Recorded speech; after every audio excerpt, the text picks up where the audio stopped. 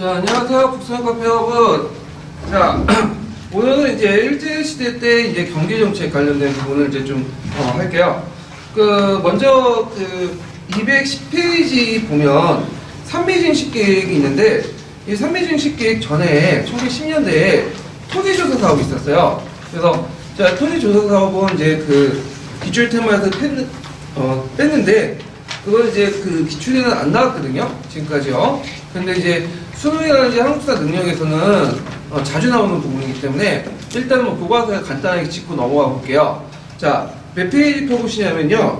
어, 283페이지 일단 펴보세요. 천재교육 283페이지요. 천재교육 283페이지에 보면 토지조사 사업을 시행하다 부분이 있거든요. 자, 보이시죠? 예. 자, 그 토지 조사 사업의 이제 그 목적이 뭐냐? 아, 이 토지 조사 사업은 일제에 필요한 식민 통치 재정을 어, 확보하는 데 있다는 거죠. 그래서 그 예전 시간에도 말했지만 일본은 그 당시 그 식민 통치에 필요한 재원들을 최대한 식민지에서 뽑아내려고 했거든요. 어, 근데 이제 우리나라에서는 그 당시 농업국가이기 때문에 어, 거기에서 제일 중요한 세원이 지세예요, 지세. 그래서 이제 그 토지 조사 사업을 통해서 지세를 충분히 확보하려고 했다. 그래서 이 토지조사 사업은 뭐의 연장에서 이제 보셔야 되냐면 구한말 때 강무 개혁 때 그 양전 지계 사업 있죠? 강무 양전 지계 사업과 연관돼서 보셔야 될 것 같아요. 그래서 이 강전 강무 개혁 때그 양전 지계 사업에 어 그걸 이제 했는데 그때 그 완벽하지 못했어요. 한70% 정도밖에 못했거든요. 그 나머지를 이제 토지조사 사업이 이어받았고 했다는 걸 이제 좀 보시면 되고요. 그래서 일제는 식민 통치를 필요한 재정을 마련해서 토지조사 사업을 실시했고 토지 재정을 새롭게 작성하고 전국의 호구를 조사해서 새 호적 대장을 이제 어, 만들었죠. 그래서 이제 이때 포면적인 그 내용은 뭐냐? 어, 거기에 보면 근대적인 등기제도를 실시해요. 토지 그 소유권을 보호한다. 이렇게 이제 구실을 내세웠어요.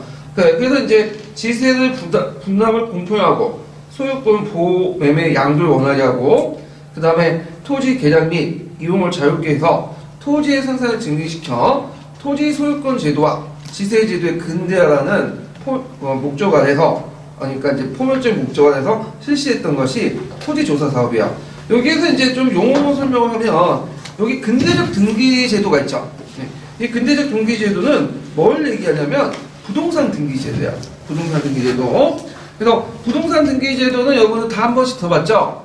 그래서 보통 그 부동산, 그러니까 건물이라든지 그 다음에 토지 이런 것들은 소유권이 어떻게 이전되죠? 예, 이렇게 그 동사무소에 가서 등기를 해야지만 어, 인정받아. 그래서 이제 이 부동산 등기 제도는 근대에 들어와서 어, 국가가 이 사람이 가지고 있는 토지 소유권 인정해준다. 공신력을 부여해주는 거죠. 예. 그래서 이제 어, 이 부동산 등기 제도는 뭐에 입각해 있냐면 일부 일건주의. 어, 그래서 한 가지 물건에는 한 가지 권리밖에 없는 거죠. 이때 권리라는 건 뭐죠? 소유권이에요, 소유권. 어, 그래서 소유권만 인정받기 때문에 종전에 간습적으로 인정받았던 경작권이라든지 그다음 도지권이라든지 이런 것들은 다 부정됐다. 이렇게 이제 이해를 해주시면 되겠죠. 자, 그러나 이제 실제 목적은 좀 약간 다른 데 있어요. 어, 일단은 어, 토지 대장에 누적된 토지를 조사하여 식민 통치 필요한 지세를 완전적으로 확보하고, 어, 그래갖고 이제 그 당시 수치체제의 효율성을 확보하기 위한 거죠. 토지 면적이나 어, 생산량을 찾아내고 찾아서 세원 확보하고 그다음 중간 관리대 어떤 수탈을 방지하고 어, 이런 것도 있고요. 그다음 왕실과 공공기관에 속한 토지 및 주인이 분명한 토지를 그 뭐냐면 아, 총독부가 차지하게 하는 거다. 어, 그래갖고 이제 왕실이나 공공 공공기관의 토지들은 이제 뭐와 관련된 거냐면 그 밑에 보이시면 알겠지만 궁방지역이나 역둔통 같은 거 있죠. 예. 그러니까 이제 조선 왕조가 그 왕실이나 국가 차원에서 이제 그 소유하고 있었던 토지들을 이제 뭐냐면 그 조선 일제가 어, 탈취하게 한 거고요. 그 다음에 또 어, 토지 매매와 저당을 자유롭게 해서 일본인들이 쉽게 토지를 어, 투자할 수 있는 환경을 마련하기 위한 거다. 그래서 이제 아까 그 차원에서 일물일권제 확립, 부동산 등기제도 확립, 그래서 이걸 통해 토지 상품화 어, 이런 것들을 이제 했고요. 그 다음에 이제 이렇게 약탈된 토지들은 음, 공방제이나 그다음 역동손, 미신고 토지 어, 이런 것들은 이제 어, 뭐냐면 누가 차지했냐면 조선 총독부가 차지했어요. 네. 그래서 이 조선 총독부가 그때 이 토지를 누구한테 넘겼냐면 동양척식 주식회사에 넘겼어요. 네. 이 동양척식 주식회사는 1908년에 이 만들어졌던 회사인데 주로 이제 한반도나 만주에 있는 토지를 관리하는 회사들이에요. 일본 일제가 소유한 토지들을. 그래서 동양척식 주식회사는 이제 이 토지들을 누구한테 분할을 시키냐면 어, 일본 국내의 농민들에게 싹하고 분할을 하죠. 그래서 이 농민들이 이제 그 토지를 사들여가지고 어, 많이 이주해와요. 그래서 이제 어, 나중에 1910년대 이후에 들어가면 그 일본인 지주들이 많이 이제 탄생하는 배경이 됐죠. 자, 그래갖고 이제 이 토지 조사 사업 결과 한국으로 이주한 어, 일본인들은 대지주 선정했고 그리고 조선 지주는 토지 경쟁이 늘어났다. 그리고 이제 자장용, 소장용을 몰락하는 그 농민이 크게 늘어났다. 이렇게 보죠. 그래서 이 토지의 소유의 양극화가 일어났다는 거죠.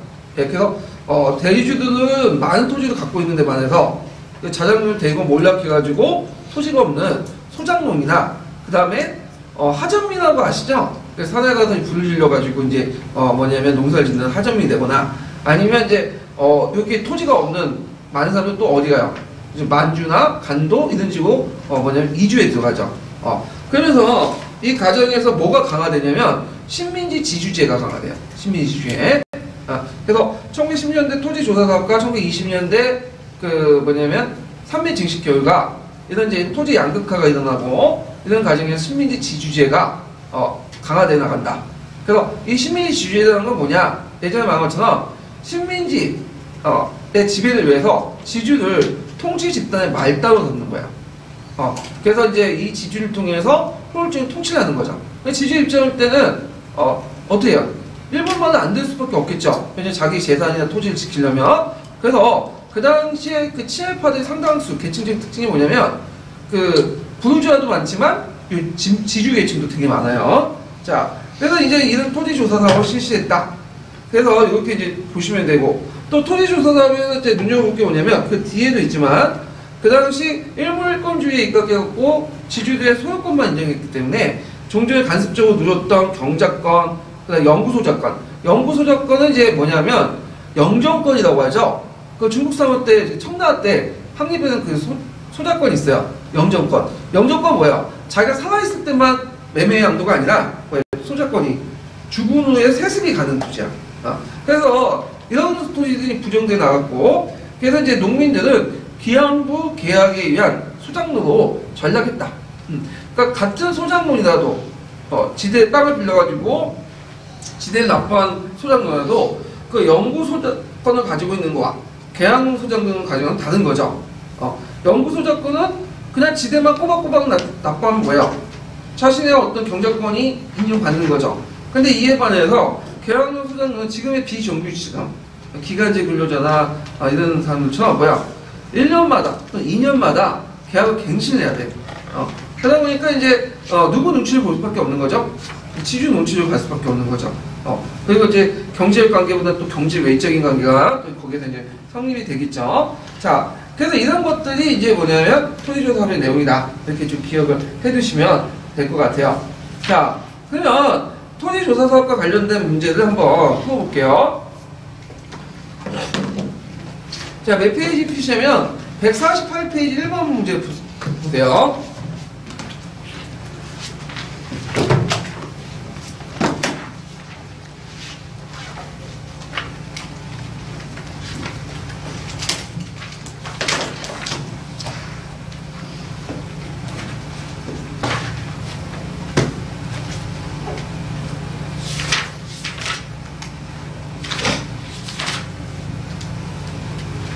자, 다음은 토지조사업에 관련된 법령이다. 이 법령에 인정된 토지의 권리성이고 이 법령을 공포한 실질 목적을 말해보시오. 그 토지조사업의 결과를 두 가지 쓰시오 이렇게 있는데 자, 토지의 권리는 일제는 지주의 소유권만 인정하고 뭐 경작권 부정했다. 실질적인 이제 목적은 식민지 지배에 필요한 재정을 안정적으로 확보하는 데 있다. 이렇게 있고요. 그다음 조사 결과는 농민들의 지위가 약화되고 토지를 빼앗긴 농민들이 대거 소작농에 전락하거나 만주, 어, 일본 그 국외로 이주하거나 그리고 이제 여기는 특강 관련된 내용 같은데 근대 자본주의 사회의 한 특권인 일물권적 그 소유권을 바탕으로 한 배타적 소유권이 확립됐다. 어, 그래서 중세의 어떤 그 권리와 토지에 대한 권리와 근대의 권리는 달라요. 이거는 중세 시대 때는 어, 토지 소유권 외에도 경자권, 소자권, 어, 도- 영정권, 도지권 등등 이런 것들이 많았거든요. 근데 이제 어, 근대 들어오면서 이게 다 정리되고 그 뭐만 인정받는 거죠? 소유권만 인정받는 거죠. 그래서 배타적 권리라고 해요, 이걸요. 그 다음에 50% 보유의 소장들이 공식적으로 인정되어 지주제가 발달 기가 제공되었다. 그래서 이 50%그 소장로는 뭘 얘기하는 거죠? 변작 반수제죠. 변작 반수제. 그래서 변작 반수제를 이제 그 조선기 때는 타조법이라 했죠. 근데 이제 그 일제 시대 때 그러면 소작이라고 해요. 보통 소작. 그래서 이제 이런 것들을 이제 했다. 그래서 이걸 이제 뭐라고 하냐면 그 이 토지 조사 사업의 이제 결과 어떤 관계가 또 성립이 됐냐면 반공건적인 어떤 토지 소유 관계가 정착됐다. 이렇게 얘기해요. 어, 이때 반공건적이라는 거는 반대 반자가 아니라 뭐냐면 반반자야. 어, 그래서 어, 포면적으로는 부동산 등기제도나 이런 걸 통해서 토지를 상품화시키고 그러면서 나름대로 근대적 소유권을 확립한다는 어, 목적을 띄고 있지만 실제 내용을 보면 어, 그 종전에 이런 50%의 그 소장권 내는 거 지대 납부 있죠. 그걸 법조 인정해 줬다는 거야. 그래서 지주전호제를 강화시켜 나갔다는 거죠.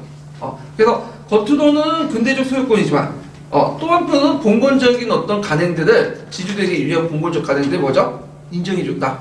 그러니까 공건 시대 때 때문에 내려왔던 여러 권리 중에 소장인들에게는 유리한 것들은 어, 근대적인 어떤 토지 소유권으로서 그 부정을 해버리고 근데 어, 지주들에게 유리한 것은 또 악물적 인정해주는 때문에 이것은 완전한 근대적인 어떤 그 개혁이 아니라 반봉건적인 개혁이다.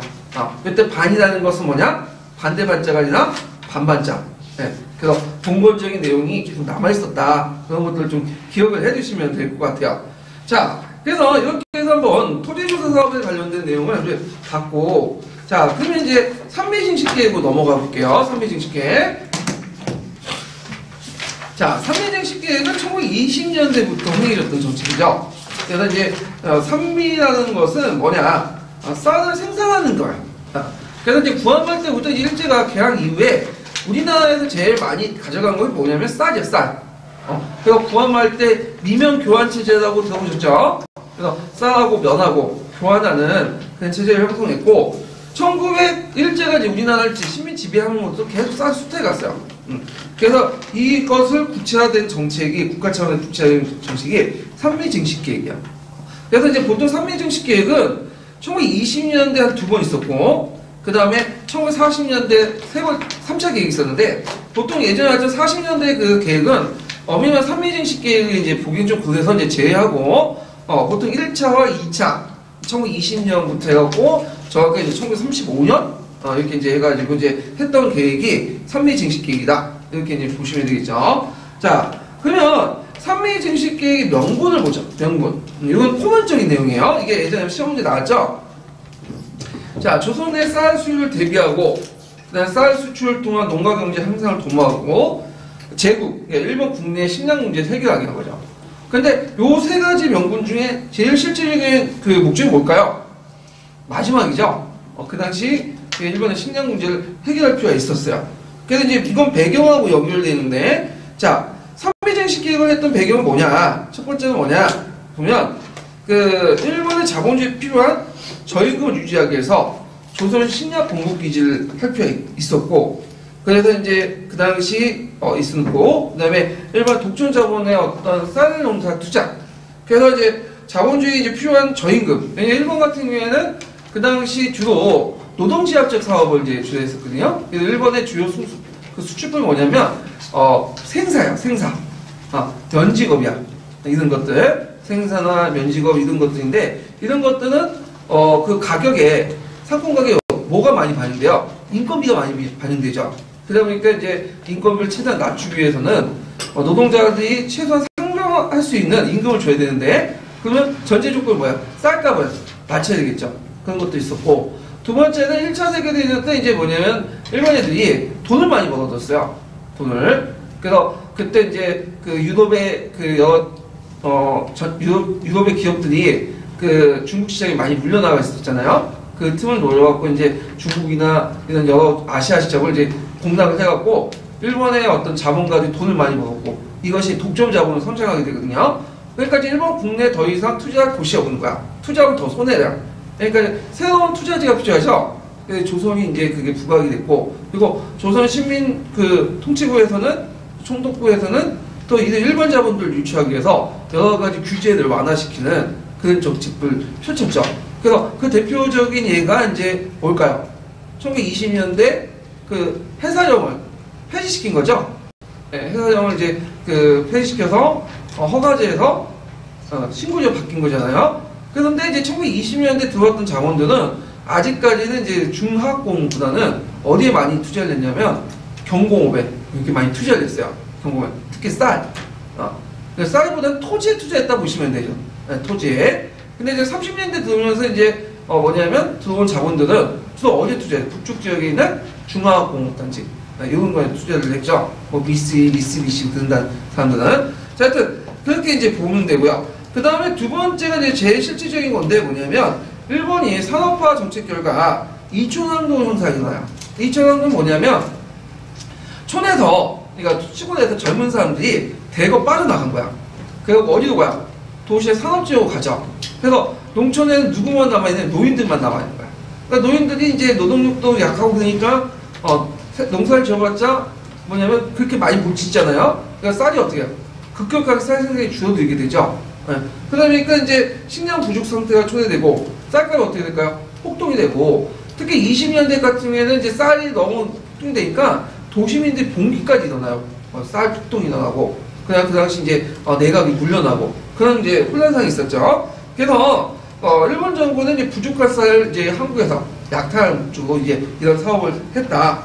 그래서 이제 그 이런 그 배경하고 명분 요거 좀 기억을 해두시고요. 그래서 이제 계획을 이제 보면 아까 얘기한 것처럼 어, 세 번에 거쳐서 했지만 실제적으로 이제 우리가 삼미징식 계획을 한 것은 두 번의 이제 1차 개혁과 2차 개혁. 그래서 1차 개혁은 1920년, 25년 아, 1차 개혁이 있었고 그 다음에 2차 개혁은 이제 뭐냐 1926년에서 34년에 있었어요.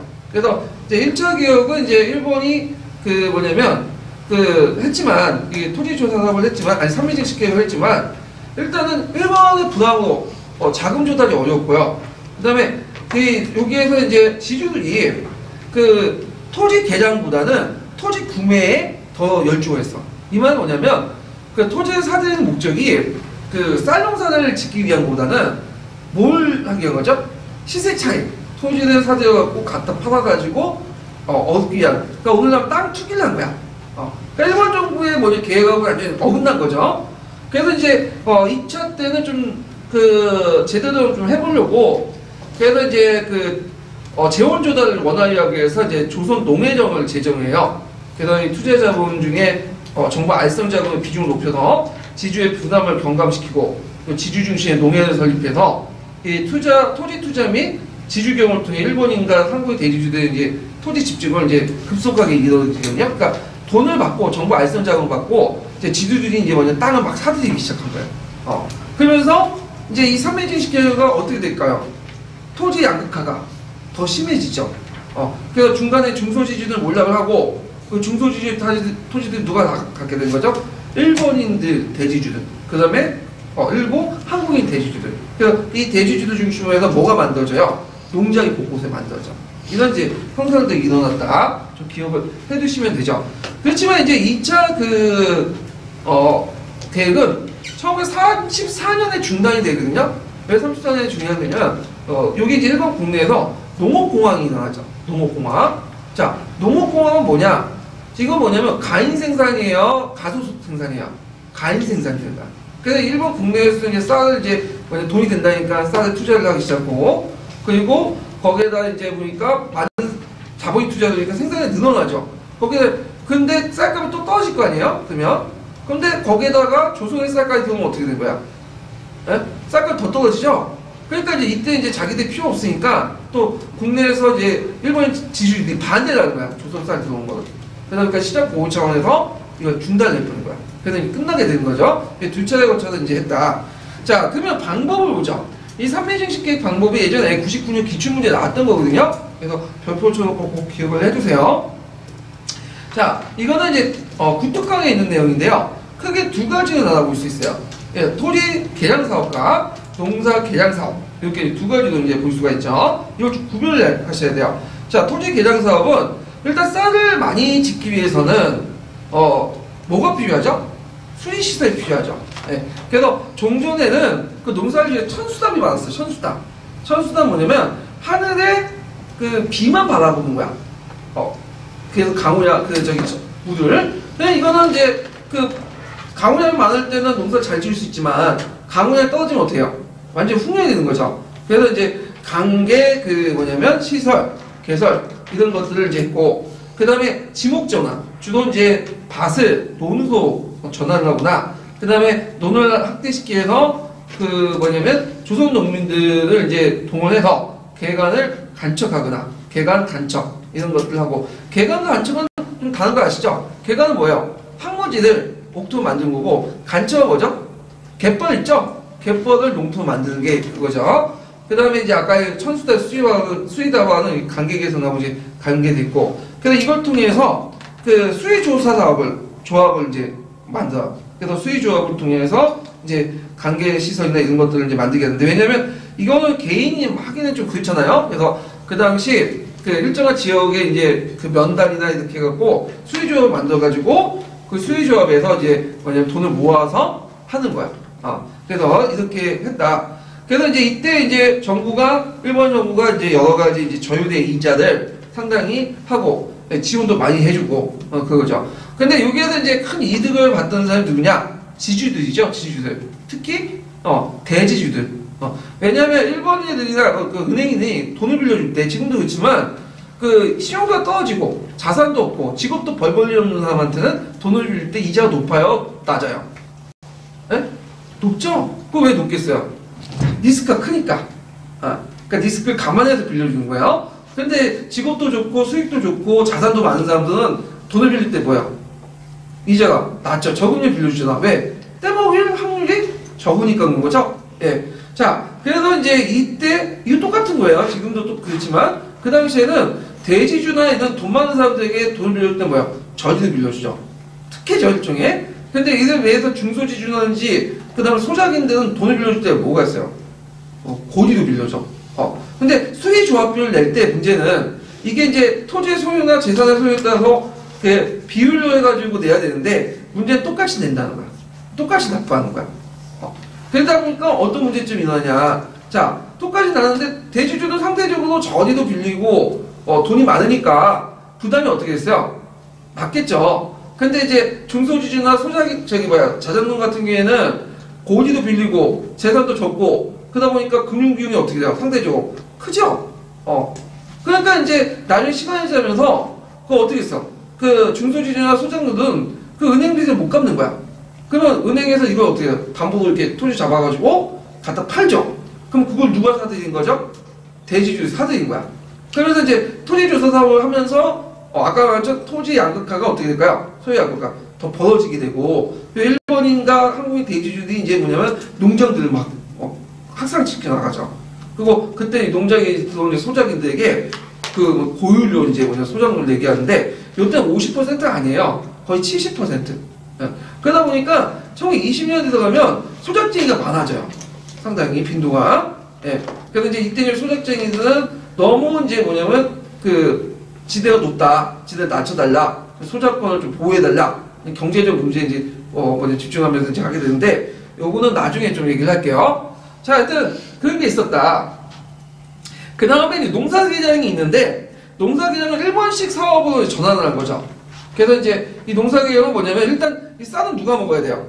일본 애들이 먹는 거죠 주로. 그러니까 일본 애들이 구매에 맞는 쌀 품종으로 개량을 하고 그다음 쌀을 많이 생산하기 위해서는 비료 사용을 증가시켜야겠죠. 그래갖고 이제 그 화학 비료 많은 것들을 사용하고 그다음에 경종법. 이 경종법은 뭐냐 하면 흙이나 작물을 관리하는 방법이야. 그 농작물을 선택하거나 어떤 그씨 뿌리는 것들 등등등을 농사 경험이나 이런 것들 이런 것들 개선하는 이런 것들이 농사 계약에 속한다. 그래서 예전에 이제 토지 조사 토지 부분과 농사 계약이 각각 뭔가를 써라 이런 문제 한번 나왔거든요. 그래서 어 애워 두시고요. 그 다음에 그러면 이제 그 삼회증식 계획에 따라서 이게 이제 제대로 됐냐? 그게 안 됐던 거죠. 계획량에 비해서 증산량이 부족해. 그래서 어, 쌀은 많이 생산됐어. 근데 원래 당초에 계획했던 것보다도 뭐예요? 쌀이 부족하죠. 그래서 이 부족한 부분을 어떻게 해요? 메꾸려니까 어, 조선인들이 먹어야 되는 한국인들이 먹어야 할 쌀을 뺏어다가 일본에 수출하는 거야.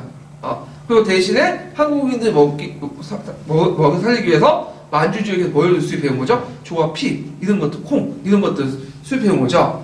자, 그 내용을 이제 보면요.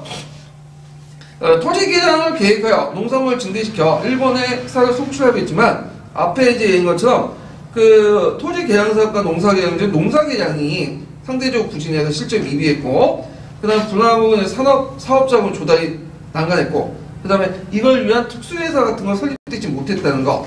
자, 그 다음에 세 번째로는 토지 개량의 수익보다는 토지 소유에 대한 수익이 높았다. 그게 뭐냐면 토지에 쌀을 생산하는 것보다는 토지를 그냥 사고 팔면서 시세 차이 나는 것이 뭐야? 더 이득이 많, 많은 거죠. 그러니까 이제 일본 정부의 뜻대로 움직이지 않았다는 거. 지주들이나 해서 거기 자본했던 투자한 자본들이.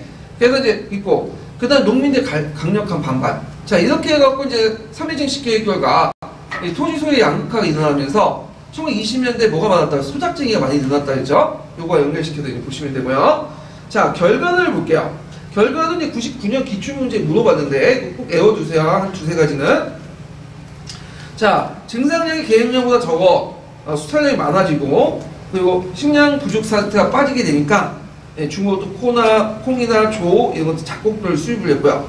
그 다음에 이제 두 번째는 아까 얘기한 것처럼 수리조합이 어, 주로 대지주 중심으로 운영했죠. 대자가 빠졌네요. 예, 대지주 중심으로 운영돼갖고 그 당시 그 중소지주 자장농 소장농들이 농업군이 배제됐고 수의조합비 부담 도민의 소장농 고리대로 몰락을 했고요. 그 다음에 세 번째로는 그 당시 이제 그 조- 총독부 권력하고 어, 지지층이 정식 결합돼요. 그래서 이제 총독부 권력든 지지층을 어, 포용해서 이들을 통해서 삼미증식의 홀, 홀조 진행을 하고 이들을 또 친인화시키기 위해서 지지층을 지방 협의회 대수 다수 포섭을 시키고 그 과정에서 이제 어, 어떤 세력들이 드냐 타협적 민족주의자들. 예, 그러니까 타협적 민족주의자들 상당수가 뭐, 어떤 출신이라고 보시면 돼요. 지주 출신이죠. 자기가 경제적으로 이제 뭐냐면 지주다 보니까 일제 눈치를 볼 수밖에 없는 거고 민족운동을 하다 하더라도 일제가 허용하는 범위 안에서 하는 거죠. 그래서 이제 뭐 실력 양성 운동이라든지 이런 개량적 방법만 어, 하려고 했던 거죠. 자, 그 다음 미국의 상품화, 미국의 단자나 농업 생산 구조가 확립됐는데 이건 뭐냐? 예전에는 쌀 외에도 반농사도 같이 하고 여러 가지 작물도 재배를 했어요. 그런데 이제 어 여기에서 쌀만 재배하다 보니까 이제 시장에 살 수 있는 그 물건이 뭐야 농민들이 쌀밖에 없겠죠. 근데 쌀값이 대거 폭락을 해버리면 어떻게 됐어요? 어, 농가 경제는 파탄이 날 수밖에 없겠죠. 그래서 이런 것들이 자연적 경제 변동에 되게 취약하다. 이런 것들 좀 기억을 해주시면 되고 그 다음에 소작쟁이가 반발 많다. 그래서 그 당시 농민들이 본격화가 되고 그 과정에서 조선 노동 총동맹이 형성되죠.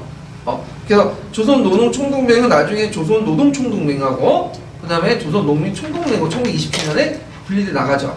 예. 그 다음에 농민생활이 악화되면서 1910년대 연결되는 부분에 하정민 되거나 만주, 일본 등주 이주민이 증가되고 그리고 이 과정에서 이제 식민지주의가 더 강화되고 어, 그래서 이제 이 삼미증식계의 그 배경, 뭐 개- 방법, 그다음 결과 중심으로 이렇게 공부를 해두시는 것도 좋을 것 같아요. 자, 그래서 이제 이렇게 해서 이제 보고요. 자, 그 다음에 이 관련된 문제 한번 풀어볼게요. 154페이지 펴보세요. 154페이지 형성평가.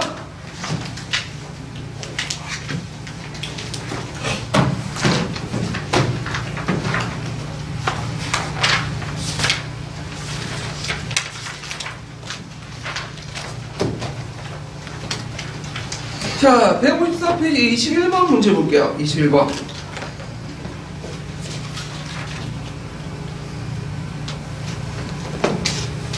자, 다음 계획의 포괄적 목적 세 가지 서술해보고 자, 이 계획으로 인해 농촌의 토지 소유 및 계층 변화를 두주인을 말해보시오. 그이 계획이 중단된 이유를 어, 써보시오. 이렇게 했는데 어, 이거는 토지 그 저희 뭐야 삼매징식 계획이죠. 그래서 이제 이 삼매징식 계획인데 이 포괄적 목적이 예전에 한번 시험 문제 나왔어요. 기출 문제. 그 뭐라고 이제 쓰시면 돼요. 자 여기는 1번 국내 식량 문제 해결, 조선의 쌀 수요 대비, 그 다음에 쌀 수출 통해서 농가 경제 및 한상 동로 이렇게 이제 세 가지 쓰시면 돼요. 예. 그 다음에 토지 소유 및 계층 변화는 대주주의 토지는 더욱 넓혀졌고 토지에 있는 농민들이 소작농민들과 하용이 됐다. 그러니까 쉽게 말하면 토지 소유의 양극화가 일어났다. 이렇게 보시면 되겠죠. 그 다음에 중단 이유가 뭐냐? 이건 일본 국내 사정 때문이죠. 아까 얘기했처럼 이제 그 쌀값이 하락이 돼요. 농업공황이 일어나서. 그래서 이제 일본 지주들이 반대를 하고 그래가지고 중단됐다가 40년대 이제 뭐냐면 또 일본이 대륙 침략하고 군량미가 부족하니까 다시 재개됐지만 요그 산미징식계 3차 산미징식계는 보통 이제 우리가 알고 있는 산미징식하고 이제 어 다르니까 제하고 이제 얘기를 하는 거예요. 자, 그래서 이렇게 해서 이제 봤고요. 그러면 그 다음 테마로 넘어가죠. 네, 신간에, 신간에, 신간에도 그 한 세네 번 나왔어요. 이게 상당히 중요한 부분이군요, 여기가. 그래갖고 이제 신간에 상당히 중요한 그 테마 중에 하나인데, 자, 그럼 신간에를 한번 보고 넘어갈게요.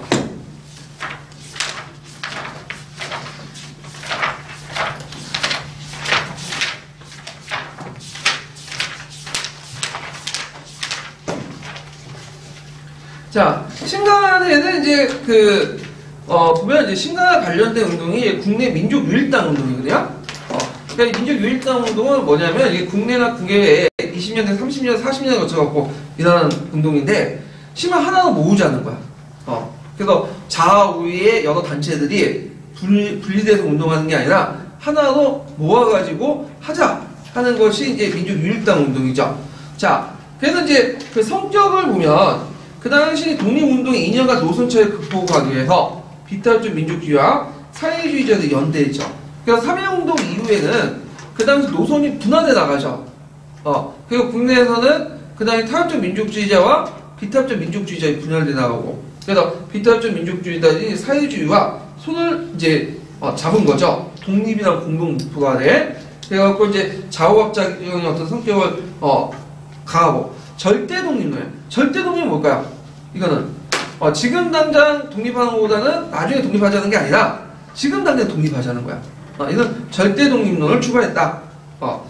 그러면 이제 그때 민족 그 국내 민족 운동의 배경을 볼게요. 이게 신, 신간의 창립 배경하고 이제 관련된데 일단은 민족주의 운- 진영 안에서 볼게요. 자 민족주의에서는 일부 세력이 자치운동도 타협적 경향이 등장하니까 비타협적 민족주의자들이 어, 이런 세력들, 그러니까 타협적 민족주의자들과 차별화시키고 힘을 모으기 위해서 사회주의 세력과의 손을 잡으려는 움직임이 보였다. 그러니까 민족주의 내부의 어떤 갈등과 분열이 사회주의와 연결시키는 그런가 연결시키고요. 그런 시도를 처음 했던 단체가 어떤 단체냐면 조선민흥회라는 단체예요. 네, 조선민흥회가 어떤 단체냐면 그 물산장려회 때 그 뭐냐면 어, 물산장려에 참여했던 단체인데 보통 우리가 물산장려회 하면 비타협적 민족주의, 그러니까 타협적 민족주의와 연결돼서 이제 보죠. 근데 이 물산장려회 때그 참여했던 조선민회는 그 뭐냐면 타협적 민족주의자 아니라 비타협적 민족주의자예요. 그래서 이때 이제 운동을 할 때 그 다음에 사회주의 세력들을 좀 유입을 시켜갖고 서울파 사회주의 세력들을 유입해갖고 같이 운동을 했어요. 그래서 이제 그 조선 민흥회라는 그 창, 그 창립 선언에 그게 나오거든요. 그래서 조선 민흥회는 산업 종사자, 종교인, 학생, 지식인 등 전국민의 단합과 통일을 주장하고 그 민족적 통합의 그 목적은 조선 해방이다. 아, 그래서 이런 운동은 반드시 반제국주의 운동으로 표출되고 과거의 운동은 계급식 내연되어 있었고 국가 전체 때 분열되어 있다. 그러나 그 이제 최근의 운동은 어, 이런 것들을 떠나서 그 연합민족운동을 강력히 요구하는 바다. 이렇게 해서 그 조선민의 창설 선언에 그게 나와 있거든요. 그래서 이 조선민흥회는 그 활동 내용에서 이제 보면 사회주의 자- 세력들, 서울파 사회주의들 많이 포섭하면서 운동을 했다. 이렇게 보시면 되고요. 그래서 사회주의 진영 내에서 이제 좀 볼게요. 자, 사회주의 진영 내에서는 일단 조선공산당 선언. 그래서 이제 1926년에 60만세 운동을 계승한 그것을 이제 민족 유일 전선을 계기를 했고요. 제기를 했고, 자, 참고로 이 60만 세 운동은 나중에 얘기했지만 그 좌우 합작 운동이야. 좌우 합작. 어, 그래서 이제 이런 것들 계승하자. 그 다음에 그 교과서에 많이 나오는 선언이 정우회 선언이죠. 정우회. 그래서 이제 정우회, 그러니까 사회주의 계열의 정우회에서 그 다음에 정우회, 정우회 선언을 이제 공부했는데 그 내용을 이제 보면 비타적 어, 민족 부유자의 민족의 합동전선을 조직하고 계급투쟁 노선에서 민족 독립투쟁 노선을 전환하고 그 다음에 또 공산주의 운동에서 분파 투쟁을 청산하자 그 내용이 있어요. 그건 이제 보면 어, 조선공산당이 만들어지기부터 이 조선공산당이 여러 파벌로 나눠져 있어요. 예, 뭐 서울파 공산주의, 뭐 그래서 하유의 계통 어, 등등등 해갖고 그들끼리 뭐냐면 투쟁이 있었어. 그걸 청산하자는 거야. 그러니까, 그러니까 내부적으로 사회주의 계열의 여러 그 투쟁들 청산하고 밖으로는 민족주의 세력들과 서로 손을 잡자. 이것이 이제 정우의 선언이거든요. 그래서 정우의 선언은 이제 그 어떻게 이제 처음에 시작하면 우리 운동은 우선 과거의 분열부터 구하지 아니하면 안 된다. 과거 형태 무의미한 분열 정신은 그 최후의 자제까지 남기지 아니하도록 완전히 매장할 것이다. 그래서 사상단체가 운동의 역할을 가질 수 있는 동안은 모든 전위 분자가, 분자가 한 기체에 모여야 하고 일방으로 어, 공평하게 구체적 전위적 운동을 향하며 일반적 야심적 응고에 춤을 구축하여 전운동의 정리 촉진을 노력할 것이다. 쭉돼 있거든요. 어, 그래서 이제 여기는 사료를 안 실어놨어요. 제가 이제 지명관계에서 실어놓지는 않았는데 그 정우의 선언하고 그 다음에 조선 민흥의 창설 그 선언문 있죠. 어, 웬만한 그거 다 나와 있어요. 사료직이 나와 있고 포셈 사료직이 나와 있고 꼭 봐주세요. 그래서 이런 선언문들이 나와지고 나오고 그 구체적으로 이게 그게 뭐냐 물어볼 수가 있거든요. 그래서 어, 중요한 내용들을 사로에 있는 중요한 내용들을 좀 인지해주고 공부를 해주시면 될 것 같아요. 그 다음에 사회주의 계열의 위치. 그래서 60만 세 운동은 이제 사회주의 계열이 주도했다가 그 뭐냐면 탄압받았죠. 그래서 이제 위축이 되고 조선공산당의 분열 아까 그 다음에 일제 탄압으로 활동 부진으로 인해 합법적인 공간을 필요했다. 그래서 조선공산당이 이제 만들어지자마자 국발 탄압받거든요. 그럼 무슨 법 때문에 그렇다고 했죠? 네, 시한유지법 때문에 그렇죠? 1차부터 4차까지 이렇게 어, 만들어졌다가 해- 해체되고 그런 과정을 겪게 되는데 그래서 이런 것들을 피할 수 있는 합법적인 공간들이 필요했다는 거죠. 그 다음에 이제 코미테 2차 대회. 어, 그래서 조선공산당은 누구의 지시를 받냐면 그 다음에 코미테의 지시를 받았어요. 그래서 코미테 2차 대회 극동 피학방 민족대회에서 어떤 이제 과제가 주어졌냐면 부르주아 세력들과 협력하여 어, 제국주의 세력과 투쟁을 해라. 그래서 식민지 문제에 대한 태제에서 그걸 공표했죠.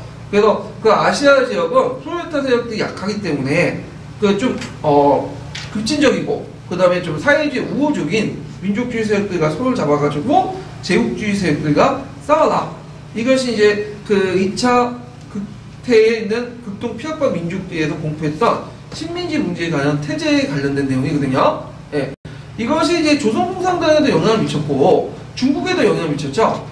중국에도. 그래서 매차 국공합자와 연결돼요. 제1차 국공합자와 연결돼요. 그래서 어, 조선공산당이나 그다음 중국공산당은 이런 코미테의 지시를 받아서 행동을 했어요. 그래서 코미테와의 관계도 좀 파악할 필요가 있어요. 결국에는 신단의 해체도 배- 그 해체 배경 중에 하나가 이 코미테의 지시 변화, 노선 변화도 연결돼 있거든요. 예. 그래서 이제 이런 것도 연결시켜 보고 여기는 안 나왔지만 일제 입장에서도 어 뭐냐면 이 신간을 합법화 시켰죠. 시- 일제가 왜 합법화 시켰을까요? 신민회는 그 불법인데 신간을 합법화 시켰어. 왜냐면 일제가 이제 신간 합법화 시킨 거 뭐냐면 그 내부에 이제 잠재돼 있는 뭐예요? 민족운동세력의 동태를 파악하기 위한 거야. 왜냐면 그 암묵적으로 미- 내부에 있으면 지하에서 한- 항공하면 내부 파악이 안 되잖아요. 내부 파악을 할 필요가 있고 내부 파악이 되면 어, 그 중에 그 세력 중에 일부를 침략시켜가지고 갈등을 유발시킬 수 있죠. 어, 이렇게 민족운동 세력을 낙하시킬 수 있는 거잖아요. 그래서 이제 이 신간에는 합법화 시켜줬다. 일본이. 그래서 신간은 합법화된 단체예요. 이 단체는.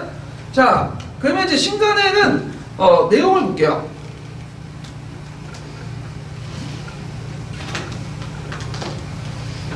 자, 신간은 몇 년에 창설됐죠? 일단 1927년이죠. 그래서 1920년대 국민 좌우합정 운동에 일어나는 거 이제 어, 창설됐는데 어, 여기 신간회라는 거는 신간 출고목 고목이라는 말이 나왔어. 신간 출고목. 그래서 고목에서 세 가지가 쏟는다. 어, 이런 말에서 이제 유래됐는데, 자, 이 결성을 보면, 그 서울 기독교 청년회관에서 결성됐고, 회장은 이상재, 부회장 홍명희, 이렇게 있죠. 이상재는 이 민족주의를 상징하는 인물이고, 그다음 홍명희는 법조문이 유명하죠. 네, 소설가로서 이 사람 사회주의자예요. 나중에 이제 6.25 전쟁 때 이제 북송이 됐는데, 자, 그래서 특징은 민족 개량주의 등장, 탈주 민족주의에 대응하는 민족 협동조선을 운동, 운동을 이제 하고 합법단체였다. 아, 일본은 한일운동을 합법화시켜 통일적 통제 및 분열 유지시키기 위해서 합법화된 단체고요. 조직을 보면요. 일단은 신간의 기관자 조선일보예요. 조선일보. 어, 그 당시에는 조선일보가 상대적으로 좀 어, 진보 쪽에 있었어요. 진보 쪽에. 그리고 동아일보가 좀 보수, 수구 신문 있고 이렇게. 그래서 이제 어, 조선일보가 있었고 그다음 천도국 대통령가 주류였고 그 외 기독교, 불교계, 유린계, 사회주의계 어, 학계가 구성이 됐다는 거. 그래서 되게 중앙에서는 민족주의 세력이 우세요. 중앙 조직은. 근데 지방에서는 그 사회주의 세력 이 우세한다. 이거는 이제 어, 사회주의 세력들이 그 의도적으로 한 거예요. 왜냐면 중앙보다는 중앙 지도보다는 말단 지혜들 장악을 하려는 데 목적이 있었어요. 왜 그럴까요? 사회주의 세력을 확대시키기 위해서는 중앙에 있는 것보다 뭐죠? 현장에 있는 게 낫겠죠. 그런 이제 의도에서 이제 했다. 그래서 지방 지혜를 장악하고 파업 및 소작쟁이를 하고 계몽운동, 언론 출판 이런 것들을 담당했다. 자, 그럼 활동 내용을 볼게요. 아, 참고로 여기에서 이제 그 뭐냐면 가입을 할 때 어떤 식으로 가입을 했을까요? 어, 단체별로 가입을 한 게 아니라 이건 뭐냐면 개인 자격으로 가입을 했어. 개인 자격으로. 예. 그래서 그 개인 자격으로 어, 참가를 했다. 어, 단체 자격을 가입한 게 아니라 개인 자격으로 이제 참가를 했는데 요거는 1차 국공합작은 좀 마찬가지죠. 그 공산당원이 당대당의 합작이 아니라 뭐죠? 공산당이 공산당 강정을 유지한 채 어디에 가입한 거야? 1차 합작. 국민당에 가입해가지고 활동했잖아요. 개인 자격으로 했는데 나중에 이제 12월 태제에서 이제 개인 가입에서 단체 가입으로 어, 바뀌어요. 그 사회주의 단체 이름으로 해라. 그리고 이런 것도 있고 그 다음에 또, 또 특징이 뭐냐면 전체가 있잖아요. 그러니까 전체 총회 있죠. 신간의 장치 총회가 그렇게 많이 개최가 안 돼. 그래서 어, 신간에 있을 때 딱 두 번 개최됐어요. 1차 대회하고 2차 대회. 1차 대회는 창립할 때 개최됐고 2차 대회 때는 해체될 때 개최됐어. 그러니까 창립과 해체가 처음과 끝을 어, 저, 전체에서 다 합poli고 나머지 개최를 안 했다는 거 어, 이런 것들이 좀 약간 어, 좀 특징이죠. 자, 그러면 신간의 강령 관련된 내용을 좀 볼게요. 이 신간의 강령은 어, 한 두 번 정도 나왔어요. 애워두세요, 이거. 일단은 보면 자, 우리는 정치적, 경제적 각성을 촉진한다. 어, 그래서 이제 정치적, 각- 경제적 각성을 촉진한다. 아, 이거고. 자, 그리고 이제 그 있고 그 이것이 이제 그 이렇게 하다가 나중에 이게 어, 수정이 되거든요. 어떻게 수정되냐면 우리는 조선 민족의 정치 경제 해방에 시선을 기한다. 이제 이렇게 수정이 되고요. 이건 원본 내용이고 나중에 수정된 내용인 거고. 자, 그 다음 두 번째는 우리는 당대를 공고한다. 자, 이거는 뭘 할까요? 우리 전민족의 총 역량을 집중해서 그 민족적 대표 기관이 된 걸 어, 아니 우리 민족의 어떤 연- 역량을 총 집결해 가지고 어떤 그 이념 분야를 얻게 한다. 그 당시 사회주의와 민족주의자에 싸웠잖아요. 근데 이게 나중에 어떤 식으로 어, 수정되냐면 비슷비슷한데 우리는 전 민족의 총 역량을 집중하여 민족적 대표 기관이 되기를 기한다. 이렇게 바뀌어요. 어, 똑같은 내용인데 좀 구체화된 거고.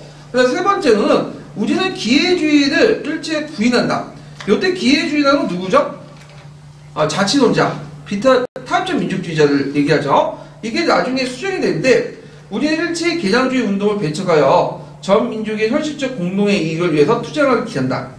우리는 일체 개량주의 운동을 배척하여 전 민족의 현실적 공동 이익을 위해 투쟁을 기한다.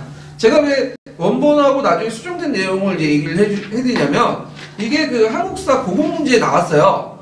그 원본하고 수정본이. 그래서 원본을 예전에 물어봤는데 이게 좀 식상하잖아요. 많이 물어봤으니까. 약발이 떨어지겠죠? 그래서 약간 비틀려 가지고 그 수정권이 나올 수 있어요. 우리 조선민족의 정치 경제적 해방을 기하고 우리는 전민족의 총력량을 집중하여 민족의 대표기관이 되길 기하고 우리는 일제 개량주의 운동을 배척하여 전민족의 현실적 공동의를 위해 투쟁한다. 이 내용이 나오면 요게 무슨 단체냐 물어볼 수 있거든요. 막 이제 혼란이지. 우리가 외웠던 신간의 강령하고 다르잖아요. 어. 근데 이거 나오면 뭐라고 딱 인식하고 쓰셔야 돼요. 신간의. 예. 그래서 좀 까, 꼬아가지고 문제 나올 수 있으니까 그 원본 내용하고 나중에 수정된 내용하고 좀 어, 같이 알아두시고요. 그러면 어, 구체적인 내용을 좀 볼게요. 자, 자치운동 규탄.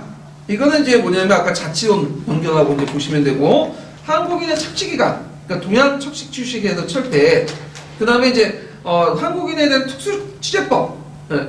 그래서 이제 조선민족의 어떤 악법을 철폐해라. 그 다음에 이제 교육차별 금지. 그 당시 이제 그 한국에 가 일본의 교육이 이제 차별 되게 많았죠. 그래서 조선인 본인의 교육을 실시하자. 조선어 교육을 실시하자. 어, 이런 것들을 이제 주장을 했고요. 그 한국어 교육 실시. 사회과학 사상 연구의 자유. 자, 사회과학 사상 연구 자유는 뭐냐?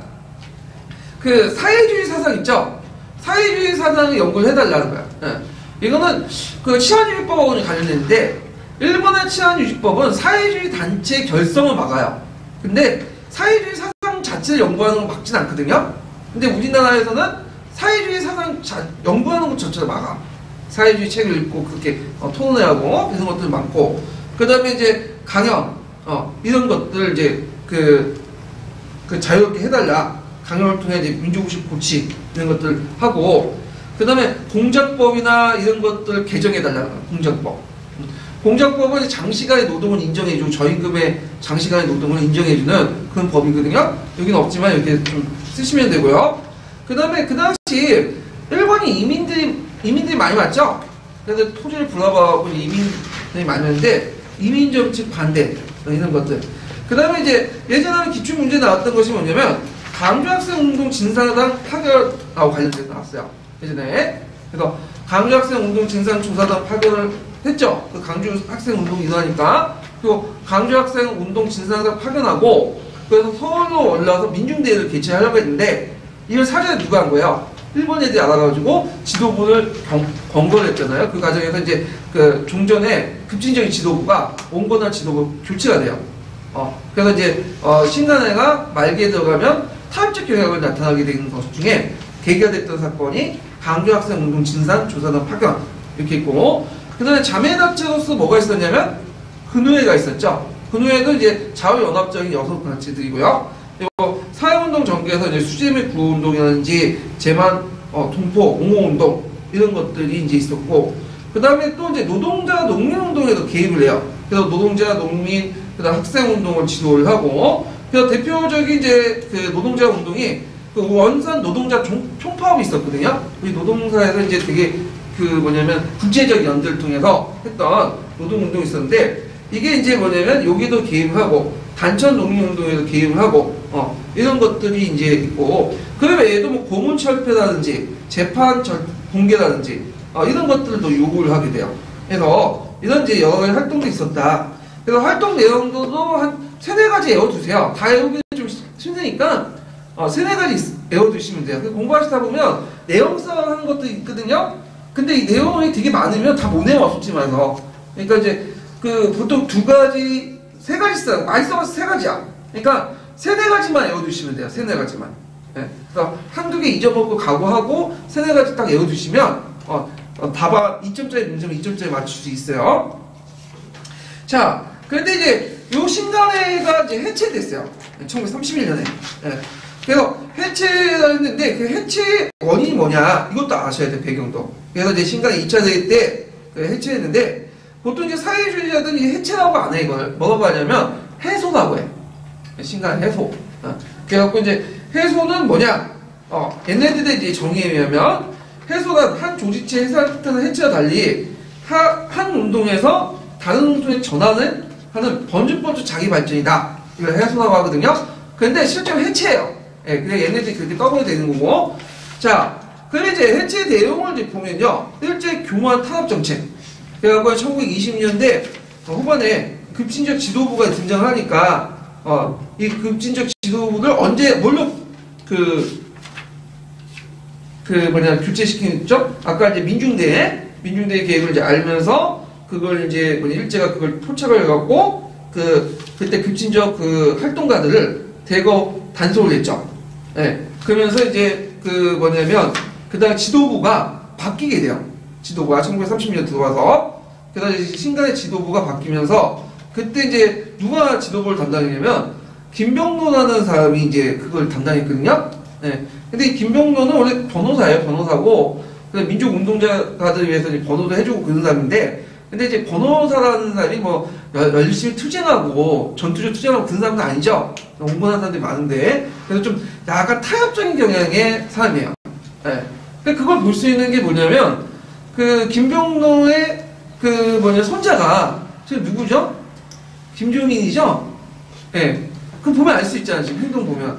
피는 못 속인다고. 예. 연결시켜서 보면 딱 연상이 되는 사람이야. 자, 하여튼.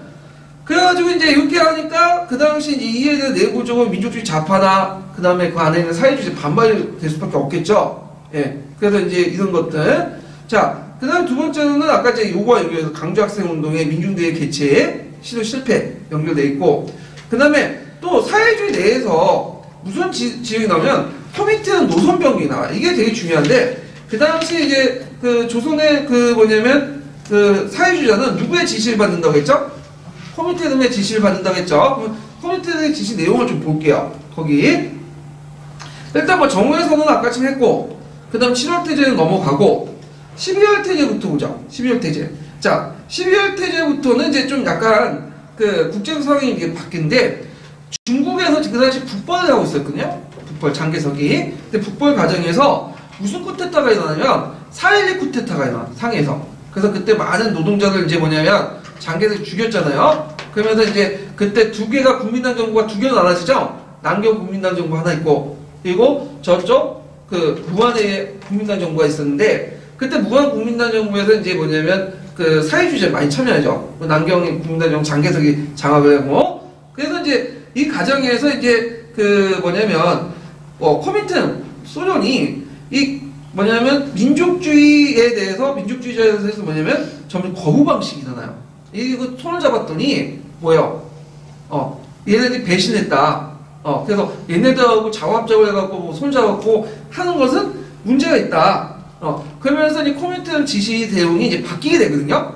그래서 이들과 차별화 시키고 손을 끊고 그 다음에 독자적 운동회라는 그런 지정이 내려오기 시작해요. 어 결국에는 중국 공산 그 중국 국민당 안에서 또 무한 정부도 어떻게 돼요? 그 무한 정부가 이제 장개석을 반대하는 그 국민당 그 민족주의 우파와 좌파와 사회주의 손을 잡다가 또 사회주의 좌, 그 민족주의 좌파 세력들이 뭐냐면 쳐냈죠 얘네들 사회주의를 그래서 결국에 장개석이 남경 정부에 합류하잖아요 그래서 완전히 배신을 당한 거지.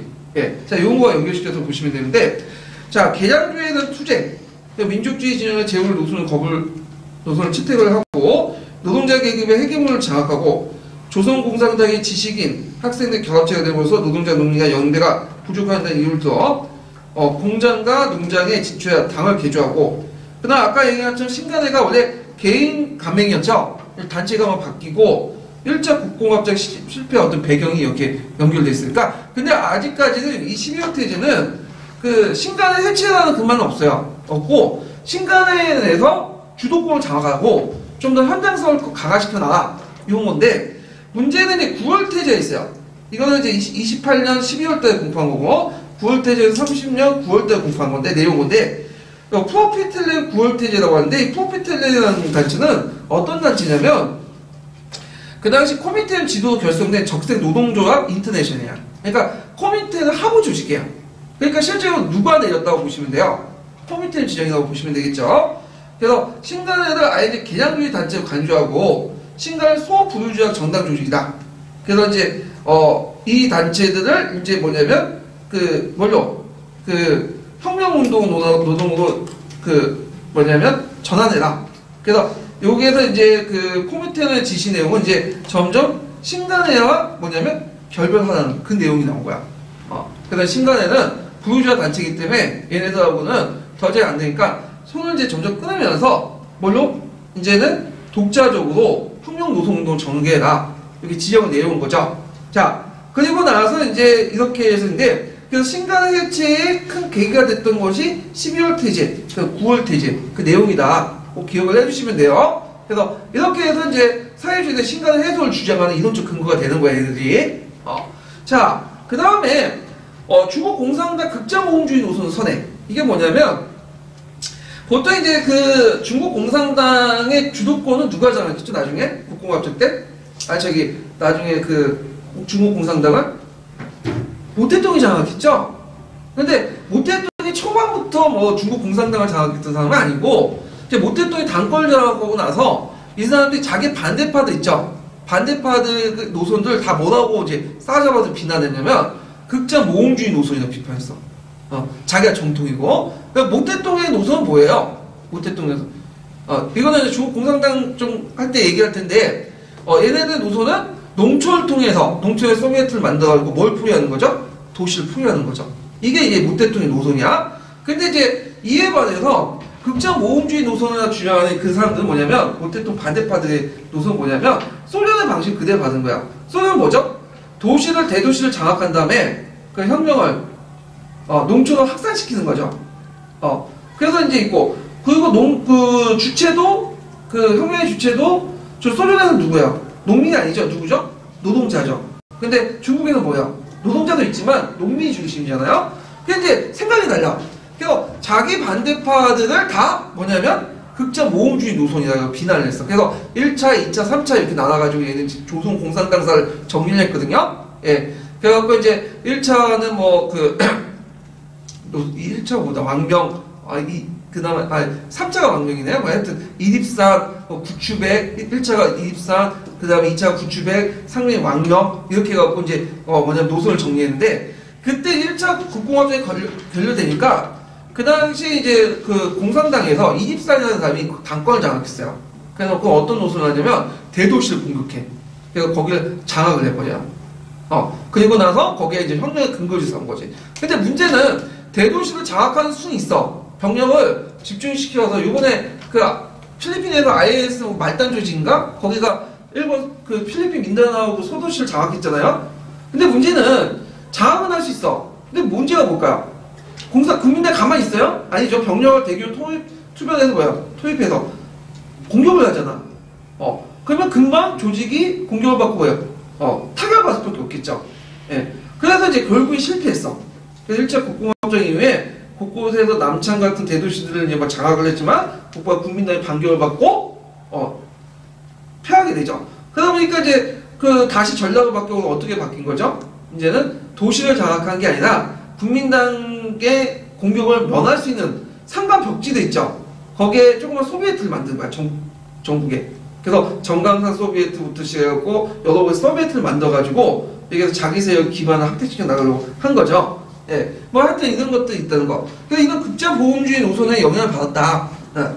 자, 그러면 이제 신간회가 이제 해체됐어요. 예, 해소됐죠. 그래서 신간회 해체와 해소와 관련된 사료가 있어요. 그래서 이제 신간회를 옹호하는, 어, 계속 유지하자는 그 민족주의 세력의 어떤 그 뭐냐면, 어, 내용이 있고, 그에 대해서 이제 해체를 주장하는 예, 사회주의 세력들이 논, 있거든요. 그래서 이런 것들이 이제 어, 가는 사료인데 여기 사료를 안 실었는데 기출문제 나왔어요 그게. 그래서 관련 사료들을 한번 찾아보세요. 그 뿌셈이라든지 교과서에 널려 있거든요 그 사료들이. 그러면 신간의 해소 이후에 어떻게 되냐? 자, 신간의 해소 이후에 투쟁 방향을 보면요. 민족주의에서는 이제 뭐냐면 개량주의야. 이 개량주의는 뭐야? 친화했다는 거야. 비타주의자들이 상당수가 타협주의적 경향을 띠게 되고, 그 다음 민족운동이 탈락할 친화 경향이 등- 증가되죠.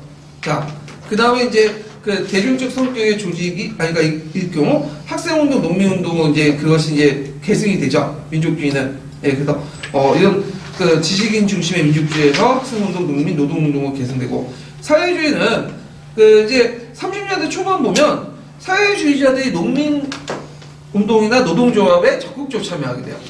아, 농민운동과 노동조합에 아, 적극적으로 참여를 했다. 그러면서 예전에는 그 농민조합이나 노동조합에 사회주의 개입은 했지만 그 지도부까지 구성하지 않았거든요. 옆에 이제 서포트주의 존재했는데 근데 이제 이때부터 지도부를 장악해버려. 그래서 이게 적색 농민조합, 적색 노동조합을. 그래서 급격하게 뭐냐 조직화시키고 그 다음에 대규모 파업을 할 때. 어. 그래서 30년, 20년대 그때도 농, 그 노동투쟁이라든지 소작쟁이라든지 그 다음에 파업 같은 게 많았거든요. 근데 이때는 어, 순수한 경제적 목적이었어요. 경제적. 뭐 임금 올려달라, 지대를 낮춰달라, 그 다음에 소작권 보호해달라. 어, 그리고 산발적이야. 수는 많은데 되게 산발적이야. 근데 30년대 초반 때도 많았어요. 근데 이때 특징이 뭐냐면 경제적인 어떤 어, 요구를 주장하는 게 아니라 물론 경제적 요구도 있지만 그 안에는 뭐냐 정치적 요구도 있어. 어, 제국주의 반대 이런 것들. 어, 그래서 어, 정치 요구도 같이 이루어지고 그 다음에 그때 농민투쟁과 노동투쟁의 특징 보면 이게 한 번 빈발수는 적어요. 빈발수는 적, 적은데 한 번 일어나면 대규모화 돼. 참여 인원이 많아. 그럼 무슨 의미일까 이거는 자연 발생적으로 일어나는 게 아니라 특정한 조직이 그걸 주도했다는 거죠. 네, 상당히 조직적이고 체계적으로 일어나요. 근데 문제는 이렇게 반짝거렸지만 이게 일본 입장에서 되게 좋은 거지. 왜 좋겠어요? 조직을 그냥 파악할 수 있는 거 아니야. 지하에 숨어있던 조직을. 그래가지고 이제 탄압에 들어가. 그래서 30년대 초반에 어, 까지는 반짝거렸지만 30년대 중반 되면 급격하게 감소돼요. 그건 뭐냐면 조직이 직접 탄압을 받아갖고 이게 와해가 된 거죠. 그래서 거의 이제 태업 수준의 그냥 지하 지하도에 스며들겠는데 그러면 사회주의 세력들이 왜 이렇게 어 뭐냐면 그 급격한 노선을 채택했냐? 그 일종의 인정투쟁이죠, 인정투쟁. 왜 인정투쟁이냐면 그 당시에 이제 그 상황을 보면 어 마지막 4차 조선공산당이 해체가 돼요. 어 그러니까 이제 조선공산당 다시 재건하고 그걸 인정받기 위해서 누구한테 인정받아요? 코미테한테 인정받아야죠. 그래서 우리의 역량이 아직 계속 남아있다.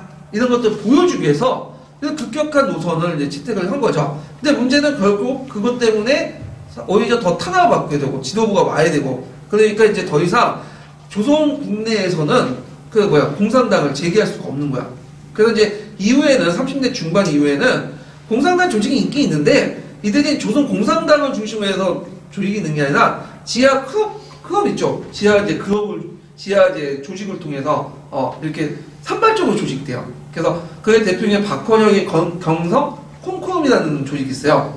그리고 오늘 당 조직이 아니라 어 이런 식으로 지하에 이제 뭐 소규모 조직으로 이렇게만 어 근데 재편이 돼버린 거야. 어, 조선공사는 이제 없어지고 그리고 코미테로도 너희들 이제 국내에서는 활동 못하니까 그냥 조선공산당 이제 만들지 말고 어 해외에서 활동해라. 그 해외도 자체적으로 활동 만들지 말고 그때 중국 공산당하고 중국 일본 공산당이 있었거든요. 거기에 들어가서 활동해라는 거야. 어, 이게 지시되죠. 그래서 그 당시 그 해외에 있었던 조선 사회주의 세력들이 그 지시를 받고 어디에서 활동해요? 조선 공산당, 아니 중국 공산당, 일본 공산당에서 활동해요. 어, 그래서 나중에 중국 공산당 안에 그 사회주의 세력들이 많죠. 한인 사회주의 세력, 무정이나 이런 사람들이 나중에 이 사람들이 이제 뭐냐면 어, 조선 독립동맹도 같이 만들고 그러는데 이 사람들이 북한에 들어온, 들어오게 되죠. 이게 뭐냐면 북한의 연합파의 근거가 되는 거죠. 그리고 일본 공산당 안에서도 상당수가 뭐냐면 또 조선인 사회주의자들이 있었어. 예. 그래서 이제 이런 식으로 활동하는 거죠. 그러다가 이제 조선 공산당이 다시 재건된 건 언제 때죠? 1945년에 강복된 후에 재활동했던 이제 박헌영이 나와서 조직을 했죠. 이 조선공산당.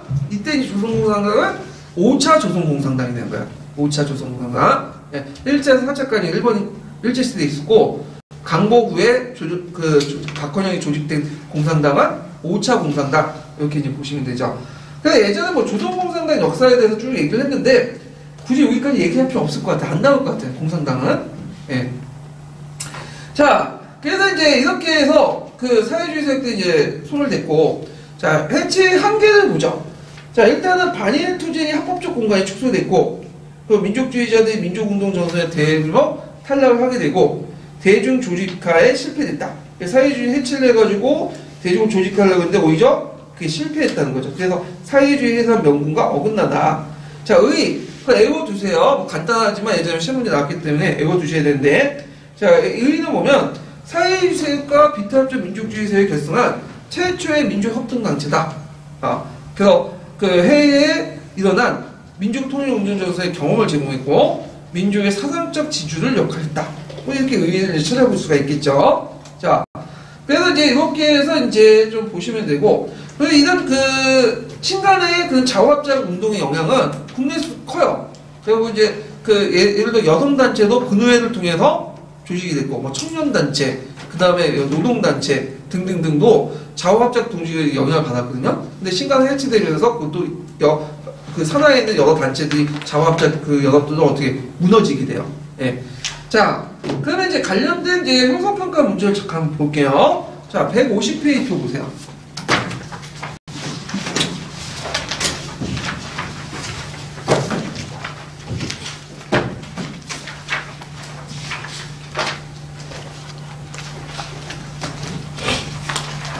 자, 150페이지 10번 문제 볼까요?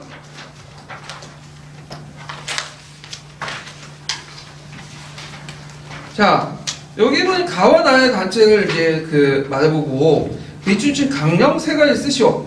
이거 그리고 신간의 의의를 두주 이내로 말해보시오 있는데 가는 이제 그 보면 서울파 사회주의자들과 조선 물산의 쟁국주의자와 함께 그 민주의 협동전선이 뭐를 구성했죠? 조선 민흥회, 어, 민흥회를 조직하고 조선 공산당도 사상운동자인 전우회를 통해서 정우회 선언을 반포했죠. 어, 그래서 민족주의 내에서 자화합작의 기미가 모였던 것은 조선 민흥회고 그 다음에 사회단체에서 자화합작 기미를 보였던 것은 뭐죠? 정우회죠. 결국 이 단체가 두 개 단체가 주도돼갖고 1927년에 신간회가 이렇게 어, 조직됐다. 이렇게 연결해서 보시면 될 것 같아요. 자, 신간회 강력 꼭 외워두세요. 예전에 기출이 나왔던 거죠. 일단 첫 번째 이거는 어, 원본이에요. 원본. 우리는 정치적 경- 경제적 각성을 촉진한다. 우리는 단결을 공부하고 우리는 기회주의 일체 부정한다. 외워두시고요. 자, 의는 의는 이제 여기 교과서에 있는 내용은 좀 약간 더 많이 들어있어요. 식민지 시기에 국내에서 조직한 최대 민족운동 단체고 민족해방이라는 공통의 목표를 위해 이념을 넘어 민족주의와 사회주의 함께 한 민주의 협동단체였다. 이거 꼭 외워두세요. 예.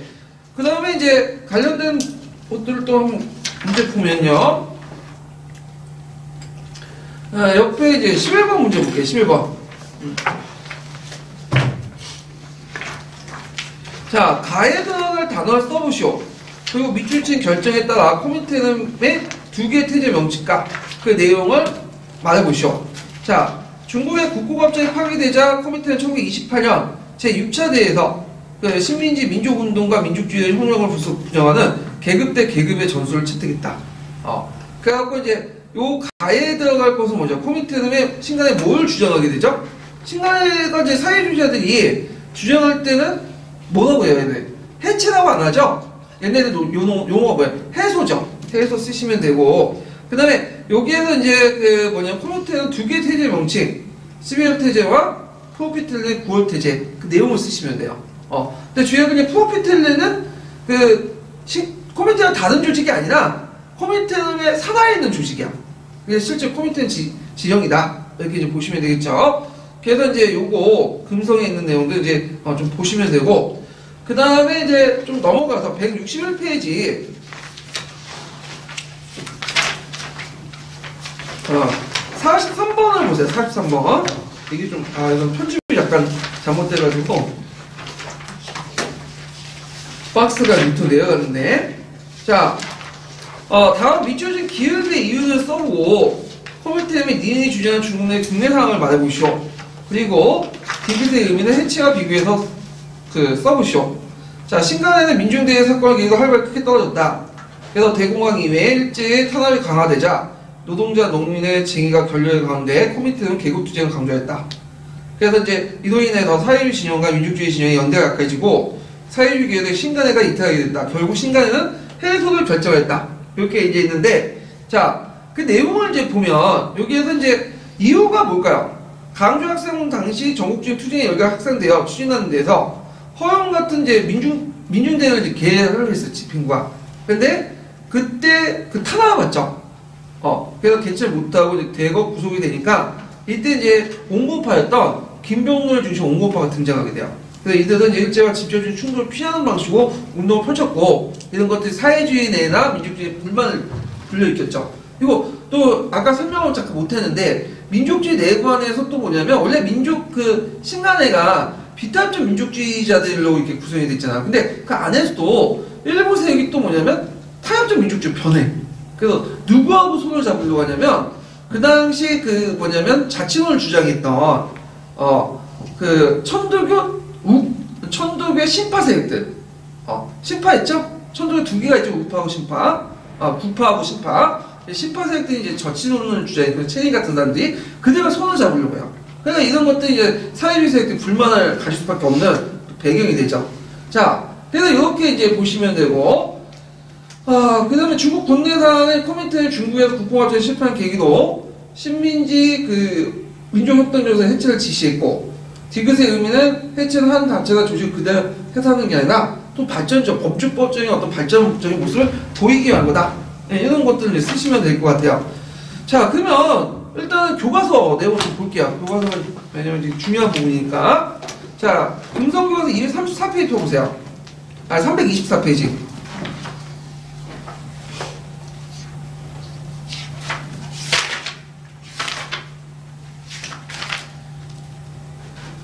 아, 신간의 해수가 있고, 아, 신간의 결성. 323페이지 잠깐 펴보세요. 323페이지.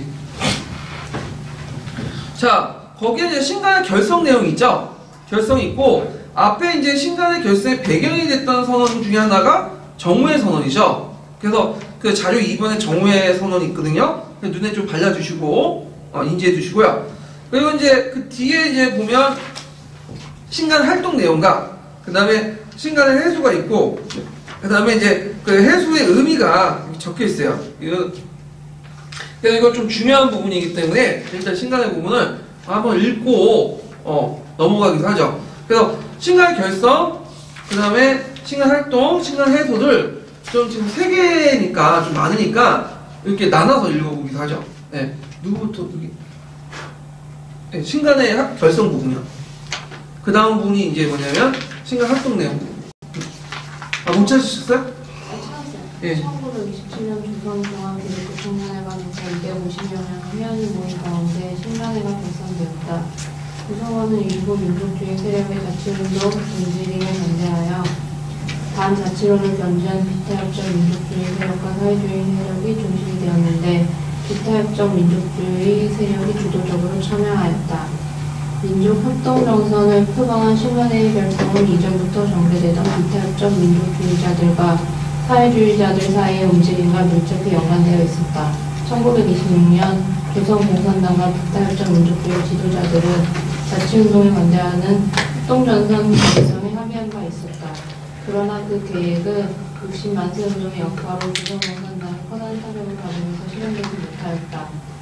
이후 서울, 서울과 사회주의자들과 조선 물산 장려의 민족주의자들이 함께 민족협동전선인 조선민주당을 조직하였고 조선공산당도 사상운동 단체인 정우회를 통해 정우회 선언을 발표하여 이타협적 민족주의 세력과의 협동전선 결성을 천명하였다. 합법단체인 신간에는 조직 과정에서 여러 가지로 일체의 간섭을 받아야 하였다. 단체의 명칭도 변경하였고 강령도 애매한 계속 수정되었다. 창립 때에서는 세 개명의 강령을 제, 제정하고 이상재를 회장으로 선출하였다. 예, 그 다음 부분 읽어보세요. 신간회는 개인 가입제로 운영되어 입회 원서를 직접 써야 하였기 때문에 가입에 일정한 제한이 있었다. 그럼에도 회원 수는 창립 1주년에 2만 명을 돌파하였고 회소 즈음에는 약 4만 명까지 증가하였다. 지회의 수도 1927년 말 96개에서 1931년에는 149개로 증가하였다. 조선 청년 총동맹, 조선 노동 총동맹, 조선 농민 농민 총동맹 등이 집회 금지 상태에 있던 상황에서 신간에는 각 지회를 중심으로 조선인 본위의 교육 실시, 식민지 교육 반대, 타협적 정치 운동 반대 등과 관련된 활동을 전개하였다.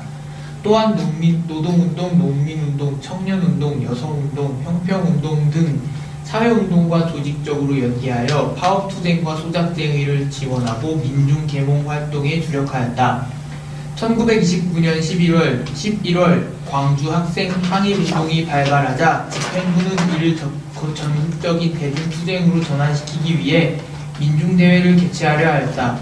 그러나 민- 일제는 민중대회 사건을 일으켜 집행부를 와해시켰다.